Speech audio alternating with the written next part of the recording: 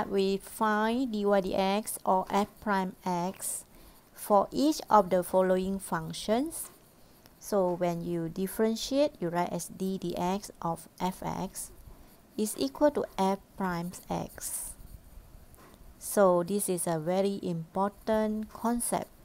So when you differentiate the function, you will get dy dx or we can call as first derivative. F prime x means dy dx. Function is y or can be written as fx. So from y you differentiate you get dy dx. Or you can say from fx you differentiate you got x prime x. Okay, there are two ways of writing uh, dy dx. You can write as dy dx or you can write as f prime x. So when you integrate, it's a reversing process. Integrate the dy dx, you will get y. Or integrate the f prime x, you will get the fx plus c. The plus c is very important.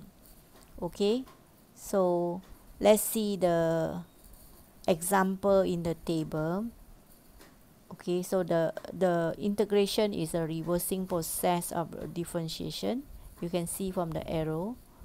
Okay let's see the example from the table. So from the table you have uh, y equal to 3x squared plus 3x minus 1 so you differentiate you got dy dx equal to 6x plus 3 so when you integrate your 6x plus 3 which is your dy dx you get 3x squared plus 3x plus c. And the c can be any constant value which is uh, like example in the table your c is negative 1 for the first one and your c is 4 for the second one okay? And the c is negative 8 for the third one. So the values of the c depends on the point that lies on the function or lies on the curve. So every time when you integrate a function, please remember to write the c. And after you write the c, uh, please use a point given to solve the constant. Substitute into the function or substitute into the y to get the value of the c. So for integration the very basic skills is you must understand that integration is reversing process of the differentiation. So when you integrate your dy dx you will get back the y okay plus the c.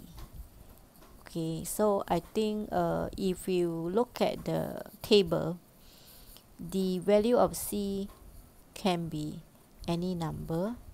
So please remember uh, it depends on the point given for you to solve the constant. So if uh, the question give you dy dx they ask you to find y. So what you need to do is you just integrate the dy dx. After you integrate the dy dx you write plus c yeah? Okay let's see the example here I give you y equal to 2x minus 1 to the power of 3, right? So you are asking to show that dy dx is equal to 6 times 2x minus 1 square. And hence, find the integration of 3 times 2x minus 1 square dx. So, okay, so you are given y, you also given dy dx so it seems like they ask you to find the integration of the 3 times 2x minus 1 square. So the first step is you write down your y which is 2x minus 1 to the power of 3 and you also write down your dy dx okay? Because the dy dx was given in the question so the dy dx is 3 times 2x minus 1 3 minus 1 and then times the 2 this is the chain rule okay? So this one is you use a formula for the chain rule to find the dy dx then you just multiply the 3 and 2 becomes 6 then the bracket you copy 2x minus 1 square okay so the 6 still outside yeah? don't multiply inside the bracket because the power are different so that means from the y you find the dy dx and show the step how you find the dy dx now you have to use the concept of integrate the dy dx which is 6 times 2x minus 1 square dx is equal to the y the y is 2x minus 1 to the power of 3 so you just copy down your y as 2x minus 1 to the power of 3 that means you are applying the concept of integration the dy dx. You'll get the y plus c. This is the concept that I just explained to you. Okay so when you integrate your dy dx you will get the y. And the y here is 2x minus 1 to the power of 3 plus c. Alright. But you see the question don't want the 6 the 6 now become 3 so it means that you have to divide uh, both side left side and right hand side with the 2 so that you can get what the question asks you to find which is integrate 3 times 2x minus 1 square dx. Okay so your answer will be half of the answer just now is 2x minus 1 power 3 divided by 2 plus c. So this should be the answer for what the question asks you to find. Integrate 3 times 2x minus 1 square dx. Okay so the answer now become 1 over 2 times 2x minus 1 to the power of 3 plus c. Okay, so now we see one question given there. Okay. So uh, for the first question example, we actually use a concept of the integration of the dy dx is equal to y plus c. So remember to write the c.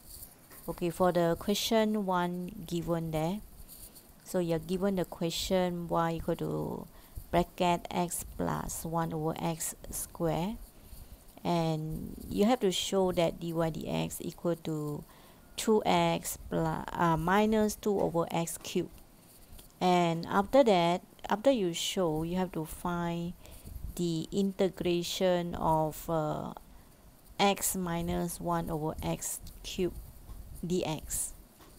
Okay? So for question like this normally we will start with uh, differentiation. Okay how to do differentiation for y equal to x plus 1 over x square? First thing is you need to do expansion. So your y is x plus 1 over x square. So square means multiply by itself huh? So we just use expansion first we before we integrate we have to expand so x plus 1 over x times x plus 1 over x, okay? So x times x will be x squared, okay? x times 1 over x, you get 1. 1 over x times x also 1, so 1 plus 1 is 2. Then 1 over x times 1 over x, you will get x negative 2. Then only you do dy dx. So dy dx is 2, bring the power to in front, 2x, 2 minus 1. When you see the constant, you differentiate, you get 0. Then negative 2 we bring down, x negative 2 minus 1 okay negative 2 minus 1 will be negative 3 okay now we simplify the dy dx to the simplest form. So we will have the 2x um, minus uh, 2x negative 3 alright 2x minus 2 over x 3 okay? X negative 3 will bring down become x positive positive 3 so dy dx is 2x minus 2 over x power 3. Okay, now after you dy dx, now you look at what the question want you to integrate. okay there is uh, a little bit different with our dy dx but it's okay. We just integrate our dy dx okay? No matter how we will use a concept of integrate the dy dx equal to y so now we integrate our dx which is 2x minus 2 over x cubed. So when you integrate this dx you will get back your y. Okay?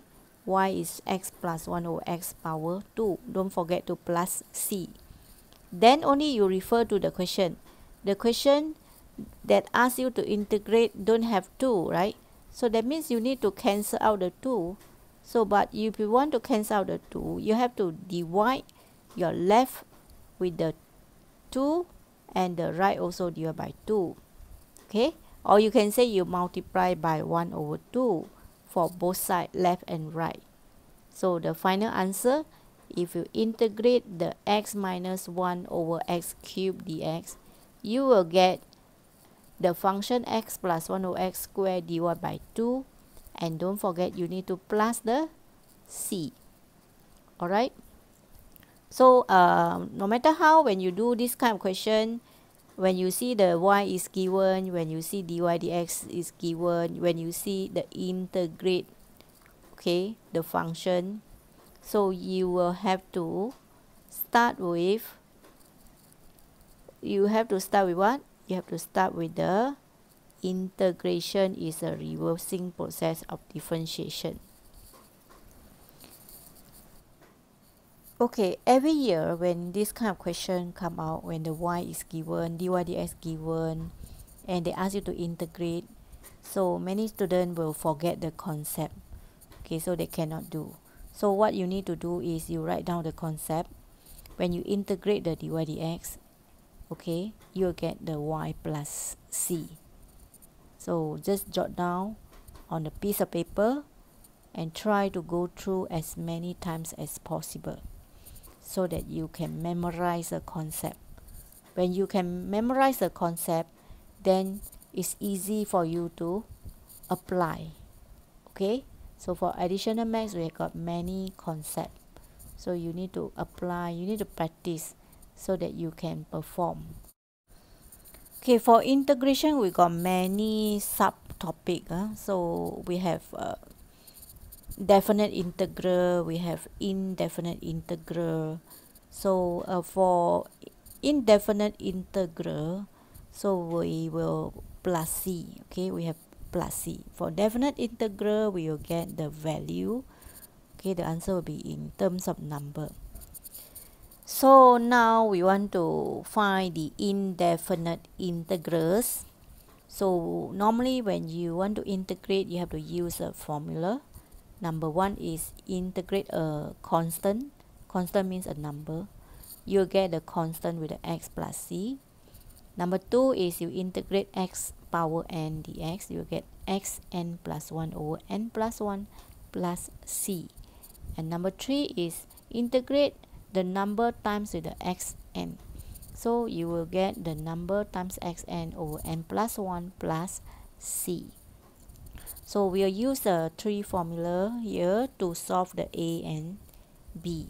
So if you integrate 4x 3 minus 2x plus 3 dx so you will get okay by using the formula there you get 4 and then x and the power is 3 so you need to raise the power by plus 1 so it will become 4x uh, 3 plus 1 we use the formula number 1 and number 3 okay? Number 1 and number 3 so uh, number three is you take the power plus 1 over power being plus 1 and number one is you integrate the constant. You will get the constant with the x. Okay? Plus c. So that is how you integrate. So you will get 4x 3 plus 1 over 3 plus 1 minus 2x okay? 1 plus 1 over 1 plus 1 plus 3x plus c. Okay? So this is using the formula so after you raise the power by 1 you have to simplify to the simplest form. So it becomes 4x 4 over 4 minus 2x square over 2 plus 3x plus c. Then finally you must make sure you simplify to the simplest form. So the 4 and 4 can be cancelled out and 2 and 2 can be cancelled out. So your answer will be the simplest form. Okay all the answer must be simplified. So your answer is x4 minus x squared plus 3x plus c. Alright so we will do the same for b. Uh, it's just that the b it come with a two bracket 2x minus 1 times x plus 2 with a bracket dx so the first step when you see a bracket you have to expand first okay? By using the arrow we will multiply the 2x with the x. So we got 2x squared then 2x times 2 we got 4x then minus x okay? Then negative 1 times 2 is minus 2 so we need to do expansion first. So after you expand uh, you have to simplify. Uh, after simplify then only you look at the power and then you integrate. If it is constant you will get a constant with the x by using the formula 1 and 3 again. So uh, after you simplify you will get 2x square plus 3x minus 2 dx okay? So after you simplify you can start to integrate. So when you integrate please do not write the sign of the integral. Okay? So now we want to use the formula 1 and 3 so you will have 2x uh, 2 plus 1 over 2 plus 1 plus 3x 1 plus 1 over 1 plus 1 minus 2x because 2 is the k and you have to plus the c. Then only you simplify okay 2x 2 plus 1 over 2 plus 1 plus 3x 1 plus 1 over 1 plus 1 minus 2x plus c and you simplify your answer to the simplest form. Okay? Answer must be simplest form. If you never simplify the answer they can minus your mark. Is considered not the final answer. So please remember answer must be simplest form. Alright so uh, for indefinite integral you will have the constant there. So okay so after you do normally you need to double check. Uh, double check whether you apply the formula correctly or not maybe the power okay? So always double check because the power is so small sometimes you will overlook and also you need to make sure you plus C yeah? okay now let's see the example 2 now when you integrate uh, this kind of uh, indefinite integral the power is there. So when you see there is a power like 2x plus 1 to the power of 2 dx we will choose the formula 4 because uh, 2x plus 1 with the power 2 dx we can uh, do without expansion. We just use a formula number 4 okay according to formula number 4 you integrate the constant with the bx plus c power n you will get the uh, a times bx plus c. Then you raise the power by 1 over the power being raised up by 1 and then you plus c. So uh, this formula is applied for the question with the power. So 2x plus 1 2 plus 1 over 2 plus 1 but you don't forget you have to write the 2 there. Okay there is a, a 2x in front of the x there is a 2 so you need to divide the 2 this is very important. Okay for the formula number 4 you need to divide by the b. Okay a bx plus c m plus 1 divide by m plus 1 and then you have to divide by b. After that you simplify to the simplest form. Okay uh, i noticed that may, many students will forget about the being divided by the constant. So please remember that there is always a constant in the bracket so we need to divide so finally you need to simplify your answer to the simplest form. Okay let's see the d. The d normally when you do this kind of question you have to make sure you can see the a x n. But uh, here we need to simplify. So for this question we have to divide by x square and we simplify. So 2x uh, 3 divided by x square. So you get 2x minus 3 divided by x square you get minus 3x to the power of negative 2 the power you need to raise up okay? 3 over x square you must write as 3x negative 2 why? Because the formula number 3 okay? The power must be n okay? So by looking at the formula that's why we will change a, a fraction into indices. Okay then only we can integrate. So now we will simplify. So 2x cubed over x squared become 2x minus 3x negative 2 dx. Then only we can apply the formula. So we'll use uh, formula number 3 okay formula number 3 okay so we will uh, use a formula number 3 then we will just uh, take the power plus 1 over power plus 1 okay so our answer finally we get 2x squared over 2 minus 3x uh, negative 2 plus 1 over negative 2 plus 1 plus c. So be very careful. So your final answer must be simplest form. And also be very careful with the negative and negative uh, it become positive. So always double check and make sure you plus c after you integrate. Okay so uh, because uh, the careless mistake tends to happen if you never alert. So please double check. Okay every time after you do you double check okay so also please memorize a formula like uh, formula number four. I'm not sure whether it's given in exam so it's better for you to memorize it. So it's easier for you to apply later on.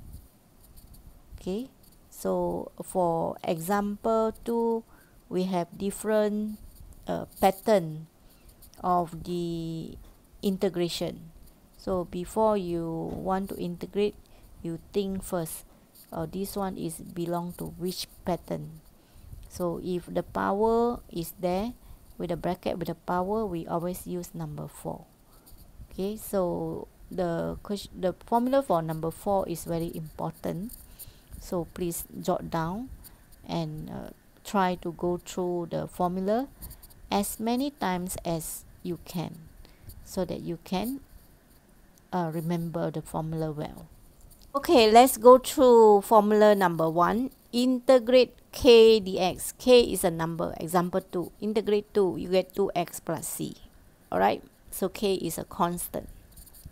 So for formula number 2 integrate s power n dx. So you get x n plus 1 over n plus 1 plus c. Okay that is formula number 2 for formula number 3 axn so integrate axn is axn plus 1 over n plus 1 and the fourth one is the chain rule a bx plus c. So when you integrate m plus 1 over m plus 1 and you have to divide by b okay? Make sure you divide by b. So we are going to use a formula there to solve the A and B and C and D. Okay, so for a we use the formula that you raise the power by 1 okay so negative 10 over 4 x 4 plus 1 over 4 plus 1 plus 6x 3 plus uh, 2 plus 1 over 2 plus 1 minus 5x plus c. Then after you integrate you notice that the integral sign you cannot write again. So if you write the integral sign that means you are wrong so don't write the integral sign after you integrate. After the power raised up by 1 no more integral sign. But the c must be there. So then you simplify. So negative 10 divided by 5 and the 6 over 3 can be simplified. So make sure your answer is simplest form. Okay? So the final answer for question A is negative 2x power 5 plus 2x power 3 minus 5x plus c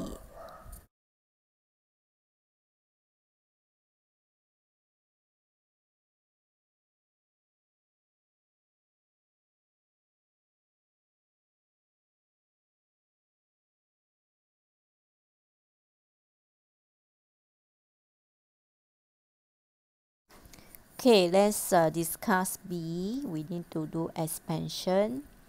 For integration, with the bracket, we expand x times x, x squared, minus 4 plus 1, minus 3x, 1 times negative 4, negative 4 dx. Okay, after everything perfect, expansion, you have to double check. After everything perfect, then only you integrate. Okay after you integrate make sure you don't write the integral sign. Okay? You drop the integral sign. When you take the power plus 1 you cannot have integral sign. But you have to plus the c. So always double check because we tend to careless. So it become x power 3 over 3 okay 2 plus 1 is 3 minus 3x 1 plus 1 over 1 plus 1 minus 4x plus c. So then you simplify to the simplest form. So it become x 3 over 3 minus 3x squared over 2 minus 4x plus c. So we are using all the formula there to get the answer. Uh, notice that the last formula a times bx plus c to the power n plus 1 over n plus 1 you have to put bracket times a b. So the formula there was a bit problem. Okay let's see the example 3 this is application for the integration which is very popular. So when you read the question when you see gradient function you write dy dx is 3 minus 2x okay gradient function then you draw the curve. Okay the step 2 the function of the curve uh, you want to find the function of the curve again you must memorize the concept y is integrate of dy dx. So then you integrate carefully and you substitute the uh, point okay into the uh, function. So that is step number four. Okay when you substitute the x and y into the function then you solve it you get your c equal to 5 okay finally you have to rewrite your uh, function again. Okay, let's uh, try another question. So gradient function, so the step 1 we write dy dx equal to x minus 3 because gradient function it is dy dx. Huh? So dy dx is x minus 3, so we draw the curve. Okay, dy dx means tangent to the curve and then we label the point. Step 2, we just substitute the point into the dy dx and then 2 minus 3 so the dy dx is negative 1 that is actually gradient of tangent to the curve. Then for b we want to find the equation of the curve. Same thing we have to uh, equation of the curve is y so we have to integrate the dy dx so when we integrate the dy dx we write y equal to x squared over 2 minus 3x plus c then we will substitute the point P21 into the uh, function. Then we will solve and find the C which is 5. After you found the C, you have to rewrite again. Okay. so your final answer it must be y equal to x squared minus 3x plus 5 that is the complete answer for the curve okay let's discuss the partial question SPM question. You're asking to integrate this so you use a chain rule take the power raised up by 1 then over the power raised up by 1 with the 2 must be divided uh, then we'll do comparison. Okay then after we compare we can write down the answer for n for answer for the p. Okay so the first step is you use a chain rule. Second step you use the highlighter okay highlight and then you do the comparison to find the value of p and the value of n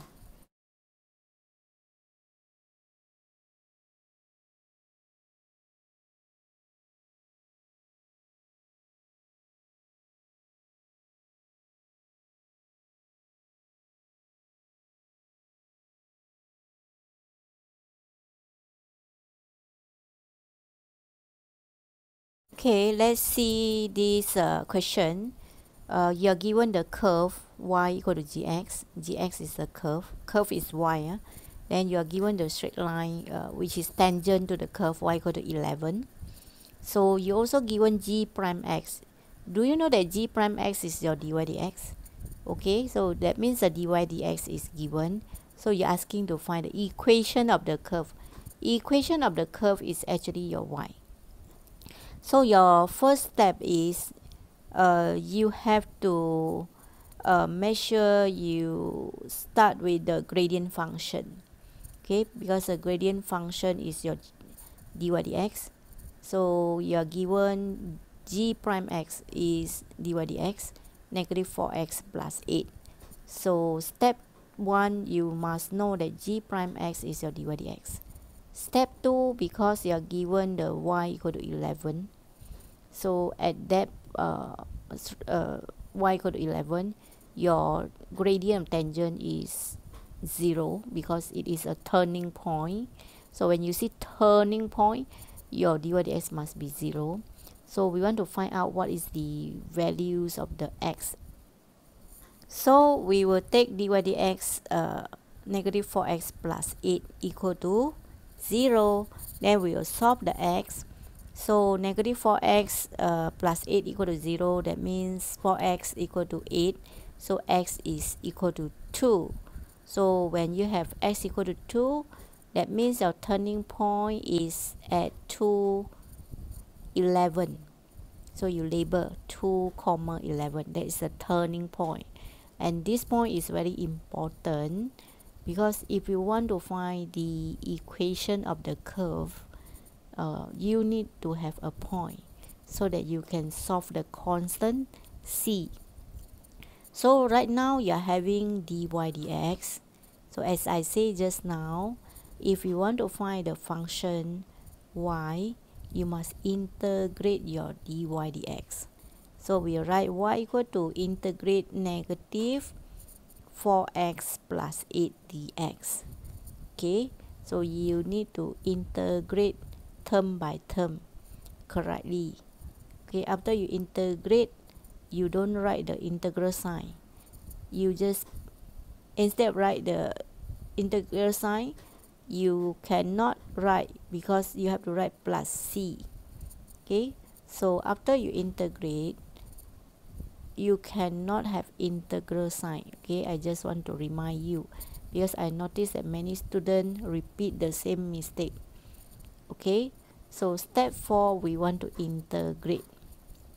So when we integrate always start with the y is equal to negative 4x square over 2 plus 8x plus c okay remember the c is very important. Then only you substitute the point into the y and the x. So you solve the c. So always check the logic sense uh, the c is positive. So you get 3 is quite logic lah. Finally you write back y equal to negative 2x square plus 8x plus 3